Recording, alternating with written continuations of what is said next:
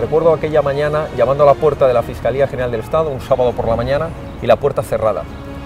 La sensación era, están declarando la independencia de una parte del territorio de España y las instituciones están cerradas. ¿Qué pasa aquí? y tenemos allí que aporrear las puertas para que nos atiendan y presentamos un escrito exigiendo medidas cautelarísimas para que Puigdemont sea detenido antes de la declaración del golpe. ¿Qué pedíamos en aquel momento?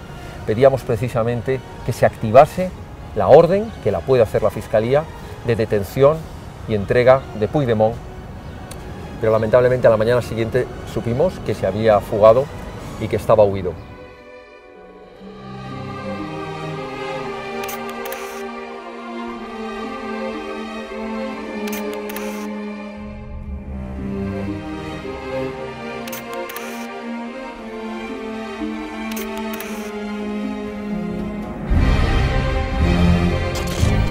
El ministro de Economía, Montoro, el otro día decía que no se gastó dinero público en la consulta ilegal del 1 de octubre.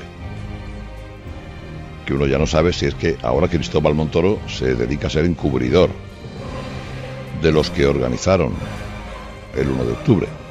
El partido Vox está personado como acusación eh, popular, decía esta noche que estos datos dejan en evidencia lo que ha manifestado el ministro Montoro. Ha pedido la dimisión.